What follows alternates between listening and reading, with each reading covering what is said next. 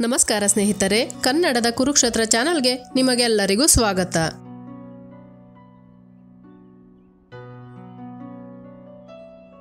ಸ್ನೇಹಿತರೆ ಈ ವಿಡಿಯೋ ನೋಡುತ್ತಿದ್ದೀರಲ್ಲವೇ? ಇದೊಂದು ಅದ್ಭುತ ಮತ್ತು ಅಭೂತಪೂರ್ವ ದೃಶ್ಯವಾಗಿದೆ. ಇಲ್ಲಿರುವ ಎಂಟು ವರ್ಷದ ಬಾಲಕ ಸಾಧಾರಣ ಬಾಲಕನಲ್ಲ. ಈ ಬಾಲಕನನ್ನು ಎಲ್ಲರೂ ಕೂಡ ಕಲಿಯುಗದ ಕೃಷ್ಣನೆಂದು ಕರೆಯುತ್ತಾರೆ. ಹಾಗೆ ಏಕೆ ಕರೆಯುತ್ತಾರೆಂದು ಈ ವಿಡಿಯೋವನ್ನು ಪೂರ್ತಿ ನೋಡಿದ ಮೇಲೆ ನಿಮಗೆ ಅರ್ಥವಾಗುತ್ತದೆ. ಸ್ನೇಹಿತರೆ, ಈ ಕಲಿಯುಗದಲ್ಲಿ ಶ್ರೀಕೃಷ್ಣನು ಮತ್ತೆ ಜನ್ಮವೆತ್ತಿದ್ದಾನ ಅನಿಸುತ್ತದೆ. ಏಕೆಂದರೆ, ಈ ವಿಡಿಯೋದಲ್ಲಿ ಬರುವ ಒಂದು ಮಗುವನ್ನು ನೋಡಿದರೆ ಖಂಡಿತವಾಗಿಯೂ ಈ ಬಾಲಕನು ಶ್ರೀಕೃಷ್ಣನ ಅವತಾರವಲ್ಲದೆ ಬೇರೆ ಯಾರೂ ಅಲ್ಲ ಎಂದು ನೂರಕ್ಕೆ ನೂರರಷ್ಟು ನೀವು ಸಹ ನಿರ್ಣಯಿಸುತ್ತೀರಾ. ಈ ದಿನ ತಿಳಿಯಲಿರುವ ಈ ವಿಷಯವನ್ನು ಕಣ್ಣಾರೆ ನೋಡದ ಹೊರತು ನೀವು ಕೂಡ ನಂಬುವುದಿಲ್ಲ.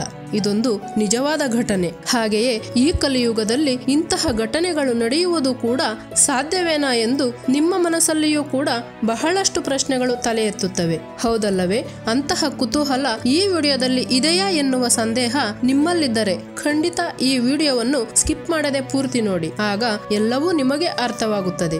ಹಾಗೆಯೇ ನೀವು ಸಹ ಶ್ರೀಕೃಷ್ಣನ ಭಕ್ತರಾದರೆ ಜೈ ಶ್ರೀಕೃಷ್ಣ ಎಂದು ಕಮೆಂಟ್ ಮಾಡಿ, ವಿಡಿಯೋಗೆ ಒಂದೇ ಒಂದು ಲೈಕ್ ಮಾಡಿ ಮತ್ತು ನೀವೇನಾದರೂ ಮೊದಲ ಬಾರಿಗೆ ಈ ವಿಡಿಯೋವನ್ನು ನೋಡುತ್ತಿದ್ದರೆ ದಯವಿಟ್ಟು ನಮ್ಮ ಚಾನಲ್ ಅನ್ನು ಸಬ್ಸ್ಕ್ರೈಬ್ ಮಾಡಿಕೊಳ್ಳುವುದರ ಮೂಲಕ ನಮಗೆ ಇನ್ನಷ್ಟು ವಿಡಿಯೋಗಳನ್ನು ಮಾಡಲು ಸಪೋರ್ಟ್ ಮಾಡಿ. ಸ್ನೇಹಿತರೆ, ನಮ್ಮ ಹಿಂದೂ ಪುರಾಣಗಳ ಪ್ರಕಾರ ಸತ್ಯಯುಗದಲ್ಲಿ ಬಹಳಷ್ಟು ಮಂದಿ ದೇವಾನುದೇವತೆಯರು ಈ ಭೂಮಿಯ ಮೇಲೆ ಬರುತ್ತಿದ್ದರು ಎಂದು ತಿಳಿದಿದ್ದೇವೆ. ಆನಂತರ ತ್ರೇತಾಯುಗ ಮತ್ತು ದ್ವಾಪರ ಯುಗದಲ್ಲಿಯೂ ಕೂಡ ದೇವಾನುದೇವತೆಯರು ಈ ಭೂಮಿಯನ್ನು ಉದ್ಧರಿಸಲು ಬೇರೆ ಬೇರೆ ಅವತಾರಗಳಲ್ಲಿ ಈ ಭೂಮಿಯ ಮೇಲೆ ಬಂದಿದ್ದರು. ಅಷ್ಟೇ ಅಲ್ಲದೆ ಈ ಕಾಲದಲ್ಲಿಯೂ ಸಹ ಆ ಭಗವಂತನು ಮಾನವನ ರೂಪದಲ್ಲಿ ಈ ಭೂಮಿಯ ಮೇಲೆ ಬಂದು ಆಗಾಗ ಎಷ್ಟೋ ಅದ್ಭುತಗಳನ್ನು ತೋರಿಸುತ್ತಲೇ ಇರುತ್ತಾನೆ. ಅಂತಹ ದೇವರುಗಳ ಬಗ್ಗೆ ನಾವು ಮಾತಾಡಬೇಕಾದರೆ ನಮ್ಮೆಲ್ಲರಿಗೂ ಕೂಡ ಮೊಟ್ಟ ಮೊದಲಿಗೆ ನೆನಪಾಗುವುದೇ ಶ್ರೀಕೃಷ್ಣನು. ಏಕೆಂದರೆ ಶ್ರೀಕೃಷ್ಣನು ಮಾಡಿದಂತಹ ಅನೇಕ ಅದ್ಭುತಗಳು ಇಂದಿಗೂ ಸಹ ಮಥುರಾ, ಬೃಂದಾವನ, ಕುರುಕ್ಷೇತ್ರ ಮತ್ತು ದ್ವಾರಕದಲ್ಲಿ ನಮಗೆ ಕಾಣಿಸುತ್ತಲೇ ಇರುತ್ತವೆ. ಸ್ನೇಹಿತರೆ, ಈ ವಿಡಿಯೋವು ಸಹ ಶ್ರೀಕೃಷ್ಣನ ಭಕ್ತರಿಗೋಸ್ಕರವೇ. ಏಕೆಂದರೆ ಶ್ರೀಕೃಷ್ಣನು ಮಾಡಿದಂತಹ ಅದ್ಭುತಗಳು ಶ್ರೀಕೃಷ್ಣನ ಭಕ್ತರೆಲ್ಲರಿಗೂ ಗೊತ್ತಿರುವುದೇ. ಯಾರಾದರೂ ಸರಿ ಸ್ವಚ್ಛವಾದ ಭಕ್ತಿಯಿಂದ ನಿರ್ಮಲವಾದ ಹೃದಯದಿಂದ ಆ ಮುರಾರಿಯ ಜೊತೆ ಅನುಬಂಧವನ್ನು ಹೊಂದಿರುತ್ತಾರೋ ಅಂತಹ ಭಕ್ತರೆಲ್ಲರಿಗೂ ಕೂಡ ಶ್ರೀಕೃಷ್ಣನು ಸ್ವಂತವಾಗಿ ಬಿಡುತ್ತಾನೆ. ಹಾಗೆಯೇ ಅಂತಹವರು ಮಾತ್ರವೇ ಕೇವಲ ಆತನು ಮಾಡಿದಂತಹ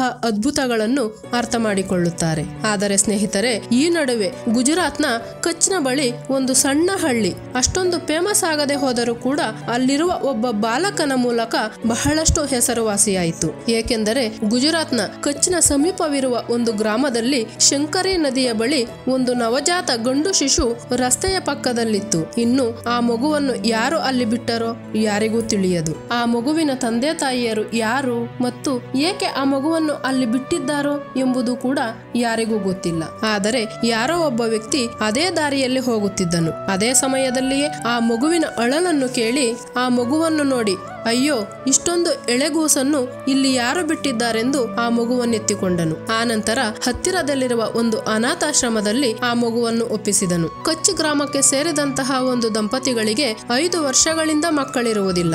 ಯಾವುದಾದರೂ ಅನಾಥಾಶ್ರಮದಿಂದ ಒಂದು ಮಗುವನ್ನು ದತ್ತು ತೆಗೆದುಕೊಳ್ಳಬೇಕೆಂದು ಆ ದಂಪತಿಗಳು ನಿರ್ಧರಿಸುತ್ತಾರೆ. ಇನ್ನು ಅದೇ ಮಗುವನ್ನು ಅವರು ದತ್ತು ತೆಗೆದುಕೊಂಡರು. ನಂತರ ಆ ದಂಪತಿಗಳು ಆ ಮಗುವಿಗೆ ಕಿರಣ್ ಎಂದು ನಾಮಕರಣ ಮಾಡಿ ಬಹಳ ಪ್ರೀತಿಯಿಂದ ಪೋಷಿಸುತ್ತಿದ್ದಾರೆ ಆದರೆ ಕಿರಣ್ ಮಾಡುವಂತಹ ತುಂಟ ಕೆಲಸಗಳನ್ನು ನೋಡಿ ಅದೇ ಗ್ರಾಮಸ್ಥರೆಲ್ಲರೂ ಕೂಡ ಈ ಬಾಲಕನು ಖಂಡಿತವಾಗಿಯೂ ಆ ಶ್ರೀಕೃಷ್ಣನ ಮತ್ತೊಂದು ರೂಪವೆಂದು ಹೇಳುತ್ತಿರುತ್ತಾರೆ. ಹೀಗೆ ಏಕೆ ಹೇಳುತ್ತಾರೆಂದು ನಿಮಗೆ ಅನುಮಾನ ಬಂದಿರಬಹುದಲ್ಲವೇ? ಏಕೆಂದರೆ ಆ ಗ್ರಾಮಕ್ಕೆ ಆ ಮಗುವನ್ನು ತಂದಾಗಿನಿಂದಲೂ ಕೂಡ ಆ ಗ್ರಾಮದಲ್ಲಿನ ಬಹಳಷ್ಟು ಜನರ ಕಷ್ಟಗಳು ದೂರವಾಗಿವೆ ಎಂದು ಅವರೇ ಹೇಳುತ್ತಾರೆ. ಇನ್ನು ಆಶ್ಚರ್ಯಕರ ಸಂಗತಿ ಎಂದರೆ ಆ ಬಾಲಕನಿಗೆ ಹೆಚ್ಚಾಗಿ ಪ್ರಾಣಿಗಳು ಆಕರ್ಷಿತವಾಗುತ್ತಲೇ ಇರುತ್ತವೆ. ಬಾಲಕನು ಎಲ್ಲಿ ಕುಳಿತುಕೊಂಡರೂ ಸಹ ಪ್ರಾಣಿಗಳು ಕೂಡ ಆತನ ಪಕ್ಕದಲ್ಲೇ ಇರುತ್ತವೆ. ಇನ್ನು ಆ ಬಾಲಕನ ಸುತ್ತಲೂ ಇರುವ ಪ್ರಾಣಿಗಳನ್ನು ನೋಡುತ್ತಿದ್ದರೆ ಆ ಪ್ರಾಣಿಗಳೆಲ್ಲವೂ ಕೂಡ ಈತನನ್ನು ಬಹಳ ಇಷ್ಟಪಡುತ್ತವೆ ಎಂದು ಅರ್ಥವಾಗುತ್ತದೆ. ನಿಜ ಹೇಳಬೇಕೆಂದರೆ ಈ ಹುಡುಗನಿಗೆ ಸಂಬಂಧಿಸಿದ ಅದ್ಭುತ ಘಟನೆ ಯಾವಾಗ ಮೊದಲಾಯಿತೆಂದರೆ ಈ ಬಾಲಕನು ಒಂದು ದಿನ ಮನೆಯ ಆವರಣದಲ್ಲಿ ಒಬ್ಬಂಟಿಯಾಗಿ ಕೂತಿರುತ್ತಾನೆ. ಆ ಸಮಯದಲ್ಲಿ ಆತನ ತಾಯಿ ಮನೆಯೊಳಗಡೆ ಅಡುಗೆ ಮಾಡುತ್ತಿದ್ದಳು. ಇನ್ನು ಈ ಘಟನೆಯು ಹಗಲಿನ ಸಮಯದಲ್ಲಿ ನಡೆದಿದೆ. ಆ ಸಮಯದಲ್ಲಿ ಕಿರಣ್ ಒಬ್ಬಂಟಿಯಾಗಿ ಮನೆಯ ಮುಂದೆ ಆಟವಾಡಬೇಕಾದರೆ ಹತ್ತಿರದಲ್ಲಿರುವ ಕಾಡು ಪ್ರಾಣಿಗಳು ಆ ಬಾಲಕನ ಹತ್ತಿರವೇ ಬಂದು ಕುಳಿತುಕೊಂಡಿರುತ್ತವೆ. ಯಾವುದೇ ಭಯವಿಲ್ಲದೆ ಆ ಬಾಲಕನು ಆ ಪ್ರಾಣಿಗಳ ಜೊತೆ ಆಟವಾಡುತ್ತಿದ್ದನು. ಅದನ್ನು ನೋಡಿದಂತಹ ಗ್ರಾಮಸ್ಥರು ಗುಂಪು ಗುಂಪುಗಳಾಗಿ ಬಂದು ಒಳಗಡೆ ಇರುವ ಕಿರಣ್ನ ತಾಯಿಯನ್ನು ಕರೆದು ಆವರಣದಲ್ಲಿ ನಡೆಯುತ್ತಿರುವುದನ್ನೆಲ್ಲ ತೋರಿಸುತ್ತಾರೆ. ಆ ಪ್ರಾಣಿಗಳ ಜೊತೆ ಮಗನನ್ನು ನೋಡಿದ ಆ ತಾಯಿಗೂ ಕೂಡ ತುಂಬಾ ಆಶ್ಚರ್ಯವಾಗುತ್ತದೆ. ಮತ್ತೊಂದು ಬಾರಿ ಆದರೆ ಆ ಬಾಲಕನ ಸುತ್ತ ಹಾವುಗಳು ಕೂಡ ಕಾಣಿಸಿದ್ದವು. ಆತನ ತಾಯಿಗೆ ತುಂಬಾ ಭಯವಾಗುತ್ತದೆ. ಆದರೆ ಸ್ವಲ್ಪ ಸಮಯದಲ್ಲಿಯೇ ಆ ಹಾವುಗಳು ಕೂಡ ಅಲ್ಲಿಂದ ಹೊರಟು ಹೋಗುತ್ತವೆ. ಈ ದೃಶ್ಯವನ್ನು ನೋಡಿದಂತಹ ಗ್ರಾಮಸ್ಥರೆಲ್ಲರೂ ಈ ಬಾಲಕನು ಸಾಮಾನ್ಯ ಬಾಲಕನಲ್ಲವೆಂದು ಆತನ ಸಾಕು ತಂದೆ ತಾಯಿಯರಿಗೆ ಹೇಳುತ್ತಾರೆ. ಅಷ್ಟೇ ಅಲ್ಲದೆ ಆ ಬಾಲಕನನ್ನು ನೋಡಿದಾಗಲೆಲ್ಲ ನಮ್ಮ ಮನಸ್ಸು ಹರ್ಷದಿಂದ ಇರುತ್ತದೆಂದು ಕೂಡ ಹೇಳುತ್ತಾರೆ. ಸ್ನೇಹಿತರೆ, ಇದೆಲ್ಲವೂ ಕೂಡ ಆ ಬಾಲಕನು ಚಿಕ್ಕ ಮಗುವಾಗಿದ್ದಾಗ ನಡೆದಿದ್ದವು. ಅವರ ತಂದೆ ತಾಯಿಗಳು ಸಹ ಇದೆಲ್ಲವೂ ಕೋಇನ್ಸಿಡೆಂಟ್ ಇರಬಹುದೆಂದು ಭಾವಿಸುತ್ತಾರೆ. ಆದರೆ ಆ ಮಗು ಸಿಕ್ಕಿದಾಗಿನಿಂದಲೂ ಎಂಟು ವರ್ಷದ ಬಾಲಕನವರೆಗೂ ಇದೇ ರೀತಿಯ ಬಹಳಷ್ಟು ಆಶ್ಚರ್ಯಕರ ಸಂಗತಿಗಳು ಅವರು ಮತ್ತು ಆ ಊರಿನ ಗ್ರಾಮಸ್ಥರೆಲ್ಲರೂ ಕೂಡ ನೋಡುತ್ತಲೇ ಇದ್ದಾರೆ. ಆಗಾಗ ಮನೆಯಲ್ಲಿ ಬೆಣ್ಣೆಯನ್ನು ಕದ್ದು ತಿಂದದ್ದೂ ಉಂಟು. ಆದ್ದರಿಂದ ಆತನ ತಂದೆ ತಾಯಿಯೂ ಕೂಡ ಈತನು ಸಾಕ್ಷಾತ್ ಶ್ರೀಕೃಷ್ಣನ ಅವತಾರವೆಂದು ನಂಬುತ್ತಾರೆ.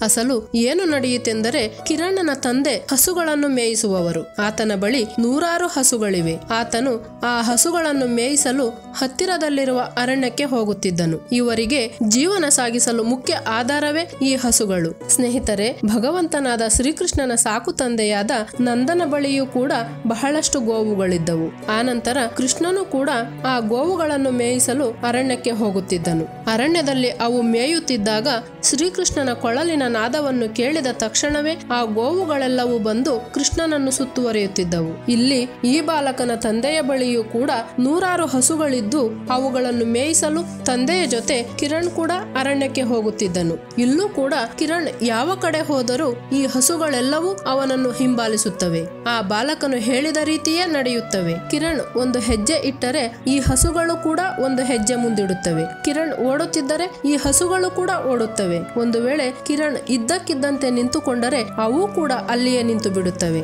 ಇನ್ನು ಈ ಕಿರಣ್ ಒಂದೇ ಒಂದು ಬಾರಿ ಪ್ರೀತಿಯಿಂದ ಕರೆದರೆ ಸಾಕು. ಆ ಹಸುಗಳು ಎಷ್ಟು ದೂರದಲ್ಲಿದ್ದರೂ ಕೂಡ ಓಡಿ ಬಂದು ಆ ಬಾಲಕನ ಬಳಿ ನಿಲ್ಲುತ್ತವೆ. ಆ ಬಾಲಕನು ಅತ್ತರೆ, ಅವು ಕೂಡ ಅಳುತ್ತವೆ. ಕಿರಣ್ ನಗು ನಗುತ್ತಾ ಅವುಗಳ ಬಳಿ ಹೋದರೆ ಅವು ಕೂಡ ಬಹಳ ಸಂತೋಷದಿಂದ ಕಾಣಿಸುತ್ತವೆ. ಇವರ ತಂದೆ ಸಾಕಿರುವ ಈ ಹಸುಗಳೆಲ್ಲವೂ ಕೂಡ ಕಾಂಕ್ರೇಜ್ ಎಂಬ ಜಾತಿಗೆ ಸೇರಿದಂತಹವು. ಇವು ನೋಡುವುದಕ್ಕೆ ಗಂಭೀರವಾಗಿದ್ದರೂ ಕೂಡ ಬಹಳಷ್ಟು ಕೋಪ ಸ್ವಭಾವವನ್ನು ಹೊಂದಿರುತ್ತವೆ. ಆದರೆ ಇಷ್ಟು ವರ್ಷಗಳಲ್ಲಿ ಒಂದೇ ಒಂದು ಬಾರಿಯೂ ಕೂಡ ಆ ಬಾಲಕನಿಗೆ ಯಾವುದೇ ರೀತಿಯ ಸಣ್ಣ ಗಾಯಗಳಾಗಲಿ ಮಾಡಿಲ್ಲವೆಂದರೆ ನಿಜವಾಗಿಯೂ ಆಶ್ಚರ್ಯವೆನಿಸುತ್ತದಲ್ಲವೇ? ಕಿರಣ್ ಮತ್ತು ಆ ಗೋವುಗಳ ನಡುವೆ ಇರುವ ಅನುಬಂಧವನ್ನು ನೋಡಿ ಅವರ ಸಾಕು ತಂದೆ ತಾಯಿಗಳ ಜೊತೆ ಉಳಿದ ಗ್ರಾಮಸ್ಥರು ಕೂಡ ಈ ಬಾಲಕನನ್ನು ಸಾಧಾರಣ ಬಾಲಕನು ಎಂದುಕೊಳ್ಳುತ್ತಿಲ್ಲ. ಸ್ವತಃ ನಂದ ಕಿಶೋರನೇ ಅವರ ಮನೆಗೆ ಬಂದಿದ್ದಾನೆಂದು ಭಾವಿಸುತ್ತಿದ್ದಾರೆ. ಅದಕ್ಕೆ ಸಾಕ್ಷಿಗಳೆಂಬಂತೆ ಆ ಬಾಲಕನು ಬಹಳಷ್ಟು ಅದ್ಭುತಗಳನ್ನು ಮಾಡುತ್ತಿರುತ್ತಾನೆ. ಯಾರಾದರೂ ಸರಿ ಗ್ರಾಮಸ್ಥರು ತಮ್ಮ ಸಮಸ್ಯೆಯನ್ನು ಹೇಳಿಕೊಂಡು ಈ ಬಾಲಕನ ಬಳಿ ಬಂದರೆ ತಪ್ಪದೆ ಆ ಸಮಸ್ಯೆಗಳಿಗೆ ಪರಿಷ್ಕಾರವನ್ನು ಸೂಚಿಸುತ್ತಾನೆ. ಅಲ್ಲಿನ ಗ್ರಾಮಸ್ಥರು ಕೂಡ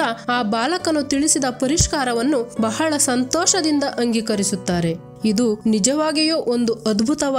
ಅಥವಾ ಮೂಢನಂಬಿಕೆಯ ಎಂಬುದು ಸ್ವತಃ ಆ ಶ್ರೀಕೃಷ್ಣನಿಗೆ ಮಾತ್ರವೇ ಗೊತ್ತು. ಮುಖ್ಯವಾಗಿ ಜನ್ಮಾಷ್ಟಮಿಯ ದಿನ ಆತನ ಮನೆಯಲ್ಲಿನ ಗೋವುಗಳಷ್ಟೇ ಅಲ್ಲದೆ ಆ ಗ್ರಾಮದಲ್ಲಿರುವ ಹಸುಗಳೆಲ್ಲವೂ ಕೂಡ ಈ ಬಾಲಕನ ಸುತ್ತಲೂ ಇರುತ್ತವೆ. ಇನ್ನು ಈ ಅದ್ಭುತ ದೃಶ್ಯವನ್ನು ನೋಡಿದಂತಹ ಊರಿನವರೆಲ್ಲರೂ ಕೂಡ ಆಶ್ಚರ್ಯಪಡುತ್ತಾರೆ. ಇಂತಹ ಬಹಳಷ್ಟು ಅದ್ಭುತಗಳನ್ನು ನೋಡಿದ ಆ ಗ್ರಾಮದಲ್ಲಿನ ಪ್ರಜೆಗಳೆಲ್ಲರೂ ಕೂಡ ಈ ಬಾಲಕನನ್ನು ಸ್ವತಃ ದೈವಾಂಶ ಸಂಭೂತನೆಂದು ಭಾವಿಸುತ್ತಿದ್ದಾರೆ. ಸ್ನೇಹಿತರೆ, ಈ ವಿವರಗಳನ್ನೆಲ್ಲ ತಿಳಿದ ಮೇಲೆ ನಿಮ್ಮ ಅಭಿಪ್ರಾಯವೇನು ತಿಳಿಸಿ. ವಿಡಿಯೋ ಇಷ್ಟವಾದರೆ ಲೈಕ್ ಮಾಡಿ, ನಿಮ್ಮ ಗೆಳೆಯರಿಗೂ ಶೇರ್ ಮಾಡಿ. ಹಾಗೆಯೇ, ನೀವೇನಾದರೂ ಮೊಟ್ಟ ಮೊದಲ ಬಾರಿಗೆ ನಮ್ಮ ಚಾನೆಲ್ ಅನ್ನು ನೋಡುತ್ತಿದ್ದರೆ, ದಯವಿಟ್ಟು ಸಬ್ಸ್ಕ್ರೈಬ್ ಮಾಡಿಕೊಳ್ಳುವುದರ ಮೂಲಕ ನಮಗೆ ಇನ್ನಷ್ಟು ವಿಡಿಯೋಗಳನ್ನು ಮಾಡಲು ಸಪೋರ್ಟ್ ಮಾಡಿ. ಧನ್ಯವಾದಗಳು. ಜೈ ಶ್ರೀಕೃಷ್ಣ.